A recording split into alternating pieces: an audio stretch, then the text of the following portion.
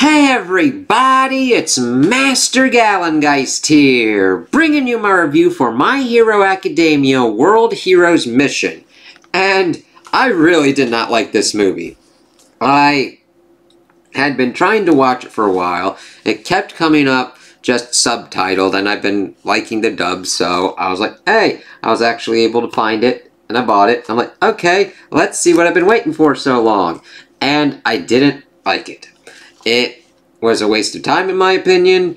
Its story was simplistic and overly explained. Uh, I think that the action scenes were not well done at all. Uh, pacing and tone consistency just were all over the place.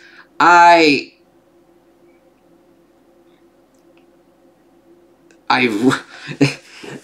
I just was mainly like, oh god, this is like a cash grab movie. This is just like, hey, My Hero Academia is popular. Let's kind of go for it. And they fucking did. Now, I'm... If you like this movie, that's quite alright. I have no qualms against you for that. I always want to try and, like, hit that. But this was not up to par for what I think My Hero Academia can be, especially with, like, the second movie and the other seasons that's going on. And it just didn't do the characters well at all. It had a decent enough premise of trying to do something, but then it just was like, it tried to overcomplicate this simple thing of like, just waiting for so long to be like, yes, this is their plan and everything's like, we are we already knew this. Why why do you keep explaining this? There's a lot of it like I understand that they do it self-contained enough, but if you're anywhere uh, like familiar with the My Hero Academia franchise, you're just like, what the fuck's kind of going on with this kind of shit? And the thing is, we get introduced pretty much easy enough. We get introduced to Humarize, uh, led by this dude, let's see.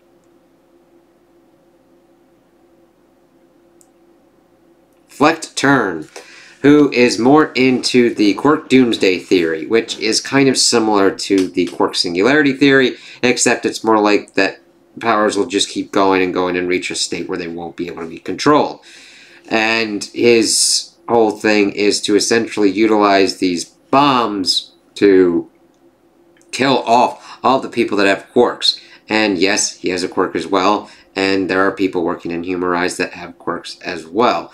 It is not really dug into very much at all why these people would be going into this kind of stuff. Like, that's the story potential that I think you should dig into with this kind of thing. This does not happen. Um, Turn's whole kind of motivation is saved towards the back half where uh, Midoriya fights him. And it's so simple and quick and done. It's like, um, why did this take so long to get here? And is this how we're really gonna like solve this whole kind of thing? It was just like, wow, that's really fucking stupid for all the characters and all the people involved for the plot.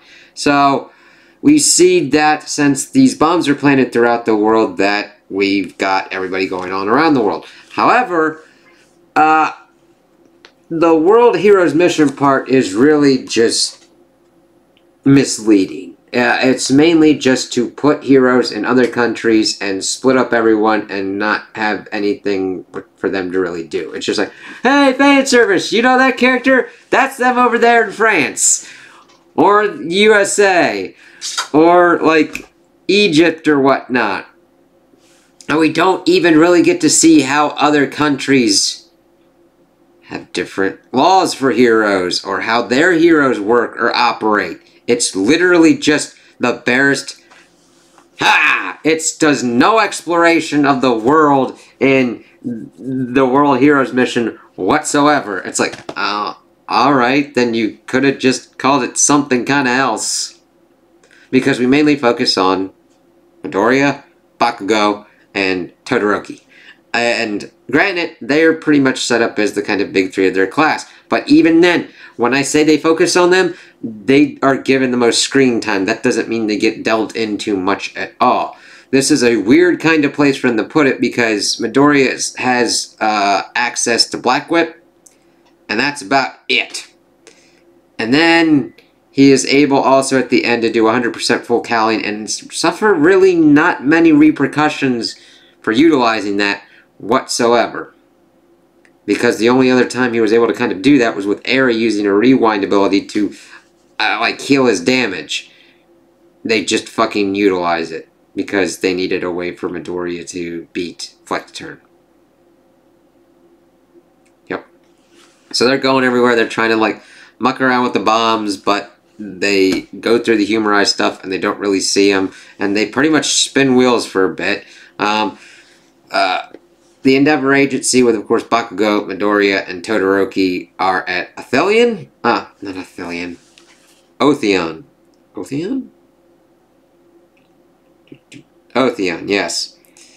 So they pretty much then are like, all right. So then literally they just are in their hero garb, walking around the, uh, like a city, doing kind of errand kind of shit. And then we see that this Rody Soul dude, who is the other kind of character that we pretty much get linked up with Midoriya for some fucking reason, is this big brother type who takes care of his uh, little siblings by doing crimes and shit. And we get this like extended fucking chase sequence as the three are trying to get him. Midoriya goes after him. Uh, he's got this stuff with jewels, but then this one dude from Humarize is trying to get information to people, but it is so in the background that it's literally like barely even talked about until the plot relevant stuff is, oh, he's got this thing that can disable the bombs. And they had accidentally switched cases, and now Midoriya is now wanted for the murder of 12 people, and I don't know how anybody is like, what? Now, Midoriya going rogue is an interesting kind of concept. Granted, they do tinker with this in the seasons that I've reviewed of him going more vigilante mode and being on his own, and I think that would have been a better kind of story to kind of try for. However, they've already done it in the anime to a better kind of effect. So he essentially has to run around with this dude, and there's like, yeah, they're trying to uh, fucking kill us and say that I'm a murderer. He's like, are you a murderer? He's like, nah. And it's like, alright. And they just pretty much go to this other country, but the dude calls the police to try and turn in the case. Like, they won't kill me. And they immediately try and kill him. It's like, what? If there's some shadowy kind of organization, you have to figure out what's kind of going on. And I know he needed to get home to his siblings. But it's just like, alright. And then, of course, Midoriya gets injured uh, trying to save him, and he's like, "What the fuck's going on?" and gives his whole spiel. Uh, Rody wants to be like a pilot and all that kind of stuff. We also learned that his quirk is the little fucking bird thingy, which doesn't really help much except for when it comes in at the end and actually saves the day. But it's just like, all right. I would have rather had them explore more in depth with the quirk, but I I'd already pretty much lost it at that point. And the thing is, most of the action sequences that we'd had up until this point were just like, what? Like the chase sequence when he was going after Rody, we got like completely unnecessary kind of comedic kind of things that were just like, what? And like the bird farting in Midoriya's face, it. I don't mind those jokes, okay? I'm, I'm fine with that kind of humor, except this is just tonal clash, and I'm just like, what? It's usually better executed than that in the show and everything like that. Like, there's sometimes in certain kind of shows where certain comedy clashes with a serious kind of tone or what you're trying to do, or even a kind of chase sequence or action sequence that you're doing, and it's just like, that doesn't feel right. Now, granted, if it works for you, that's fine. But then we get later into uh, action scenes that it's just, they're just going for pure spectacle. Uh, nobody knows what the fuck this action scene is, just just to look cool. And where it's all jerky and like using CGI to whatever kind of effect, it's just like, these are not good action scenes. The anime and other movies have had better action scenes than these.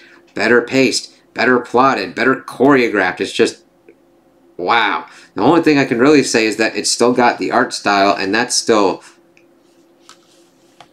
top quality, but I'm just like, oh god. So they pretty much fuck around and get to the border. Uh, Bakugo and Todoroki are able to uh, figure out a coded message from Midoriya, which is simple as shit. And then they kind of fight some humorized people, like, get taken out by them. Then they figure out that this dude was working with uh, Rody Soul's father, who had been abducted because the thing is they were ostracized because their father had supposedly joined Humarize, but he was threatened to do it, otherwise his family would be killed. They worked on a way to disarm the bombs. So these three are the only ones that have it, so they go attack the Humarize kind of base because they're able to figure it out. Because like, hey, let's check this one out. And Bakugo fights these like weird snaky kind of guys, which really fucking sucks. It's just ah, the worst. Todoroki fights this weird kind of fucker dude, and it's just all right, whatever. And then of course Midoriya then goes after Flect Turn, who's got the ability to reflect things. And the thing is, it's made him completely unable to really connect with anyone, which I wish they'd actually dived into more and really explained what was going on because Midoriya is just like, you didn't try hard enough. It's like, what? It like his simplistic kind of attitude toward this really uh, was a departure from what I've seen in the series of his empathy towards people and how he would be like that. Even though you weren't able to connect with people uh, physically or whatnot, there could have been other ways that we could have helped you, uh, helped you understand your quirk better, all that kind of stuff. He said, no, you didn't try hard. And I was like, what the fuck are you even talking about? And then he's just fighting and just, it, it's essentially the worst kind of aspects of shonen battle where Flect Turn is just being able to beat the shit out of him before he's like, I'm just going to overpower him with brute, strength. And essentially goes 100% and just blasts through his stuff. And I'm like, wow, uh, you just pretty much just turn it enough so that way he just brute force strengths his way through it. And I'm like, this would have been a really good way to like for him to come up with something, utilize one of his other quirks or whatnot of um, one for all, anything, or even just try to figure out some kind of way to turn him to his side by talking to him and getting him to back down from this. And then Rody's able to go down. He's severely wounded and then uh, disarms the bomb with his little quirk bird thingy. God, it was just not good. And the thing is, that could have had some really kind of good uh, battle effects and everything going on. But he essentially was in a position that he was like, fuck this shit, I'm, uh, uh, it was kind of like a double Z thing of utilizing the Quirk Doomsday Theory and him being unable to kill himself to essentially try and kill himself and others involved. Like, there's potential there for a good, deep examination of certain kind of things and of this quirk-based society and everything, but it's just hammered of like, I'm gonna just thunderously beat the fucking shit out of you. And I'm just like, that's not Midoriya. And that's not how this should be handled. This...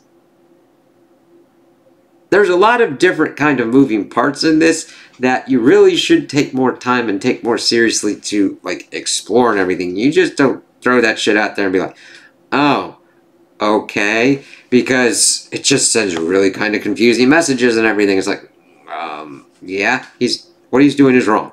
Right? Trying to essentially eliminate 80% of the world's population with these kind of bombs. And by the way, we get sporadic kind of check-ins with everybody. It's like, hey, it's just pure fan service. They do nothing. They accomplish nothing. It's just sometimes they find the bombs and they like get them to a certain kind of spot, but it's effectively null zero. It's just like, oh, it's there. Ah, oh, God, it it really added nothing for me. I'm just like, wow, okay, we, we, this is what we're doing now. So,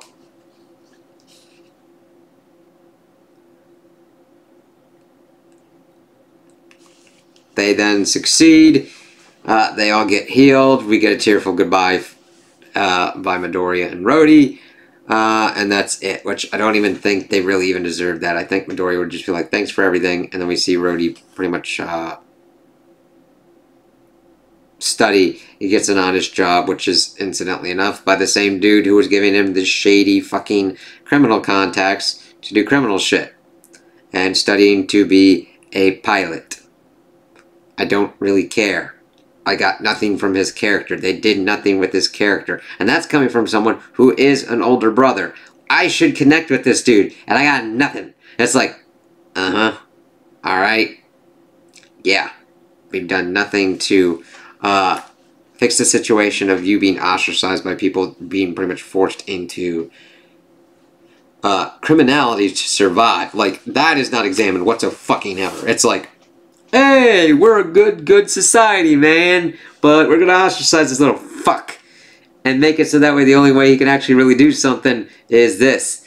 Not even going into the effect of like, um, would they even still allow him to do anything with piloting or whatnot? Um, trying to examine the effects of being forced into criminality to survive because they pretty much are like, nobody helped them. It's like, oh, your father worked for Humarize. Fuck you, kids. It's like, what? That's what? Like, there's a lot of things that they should have went instead of just like, oh, action, battle, which can be fine. Like, the John Wick franchise is done on battle and simplicity and action. Okay? This was just dumbing down everything that we had had from the series, and to me was just like cash grab kind of thing. Like, I'm glad I didn't go to see this in the theaters. Again, I paid more for it, around like 18 bucks, but I still find it worth it because of understanding of what this is about. It didn't do a good plot. Now, granted, that doesn't mean it needs to be the most complex kind of thing. Alright? Even a simple plot can be good. This is not a... This simple plot is executed poorly. The characters are done poorly. Especially compared to the anime and other movie that I had seen. The action scenes are done poorly because they're just spectacle with no understanding of what's kind of going on. Action scenes tell characters. Like character moments. How a character does, what they do, how they react to certain things. Do they kill? Do they not kill? Why? How? Throughout all this kind of stuff. You can tell this by it literally being fucking shown to you. It's the point of action scenes. I'm sorry I harp on this, but action scenes, people like to call them kind of dumbed down or like action movies that are just all spectacle and mean kind of nothing. But those are when they're not done well, or when their goal is to just be like the simplest kind of thing possible, just the spectacle. That's what happens here. It's just like, oh, let's show off really cool stuff that Bakugo and Todoroki can do, and if sometimes, let's throw in some CGI. Like, I didn't... And then, just having Midoriya go to 100% full Cowling with uh, One For All. It's... Especially when we've seen the repercussions of utilizing that power, it's just like, um... Anybody gonna try to explain why he's okay? No? Because literally, uh, we'd seen him utilizing 100% against Shigaraki uh, during the whole uh, operation against the Paranormal Liberation Front. And that was pretty much destroying his arms. Here, he had some arm damage, but like not to the extent that it should have been. Like his body should just be like broken. And I'm sorry I harp on that, but the thing is, it has been shown that Midoriya has not gotten to a point where his body can handle that shit 100%. And if you're gonna put more and everything into the show, when you do a movie like this, even if it's outside of continuity, you need to explain why we are operating on different rules. That's a case, why isn't Bakugo fucking farting out cotton candy? Why? Hmm? I mean, we've already got a bird that's farting in Midoriya's face. Just fucking fart out cotton candy, man. We don't need to explain it. I know that's a weird thing to go for, but if you're going for silly, fun fuckery, dude, uh, and don't care about the consequences because it's outside of continuity. Go ham, go nutty, go do some weird shit. Free yourself with that kind of stuff. That's why certain kind of multiversal things are interesting because you can explore that and see what goes on. Granted, if you can come up with some interesting repercussions for why Bakugo's farting cotton candy, go right fucking for it. It's just, I'm just trying to uh, go for like a weird kind of example, like if you had a movie where Bakugo's doing stuff and he just farted out cotton candy. He didn't fucking explain it. Just like, what? What? because it's for a joke. What joke? Why is it funny? What's going on here? Who are you? Who am I? Existentialism. But I was very disappointed in this movie. Now, if you like it and you like the action scenes and you like the characters, that's quite alright. I never want to take that enjoyment from anybody. I just, as a fan of My Hero Academia, uh, I really did not like this.